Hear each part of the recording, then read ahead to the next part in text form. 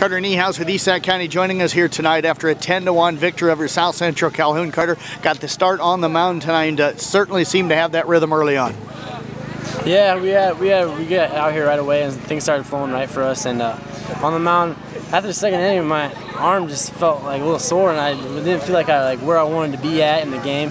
But uh, after I got out there, after the fourth inning, my arm started feeling better, and I started throwing my breaking balls better, and my off-speed pitches a lot better. What do you think worked for you in those first couple innings? You hardly threw a ball out of the strike zone those first two innings tonight. Well, you know, uh, I tend to be a little bit of a hothead sometimes on the mound, and uh, uh, the first two innings I was flowing good and I was throwing strikes, and then after a while, uh, I, I, started not getting a few calls and got a little upset with myself, and then uh, but I was able to bring it back together for the last three innings, and uh, we got the W for our team. How much did it help uh, the offense putting up an early run for you, uh, and you kind of made that hold up throughout the game? Yeah, that one run we had for about two or three innings uh, really uh, paid dividends for me. It gave me a lot of confidence because when I only come out, I, I, haven't allowed a lot of runs this season, and uh, if we get up by one, it's you know it's nice to have more extra padding, but uh, if you get up by a run, you know you should be able to hold it if I'm a senior pitcher. Uh, talk about uh, how you felt at the plate tonight. Uh, you're making some good contact, got yourself on base.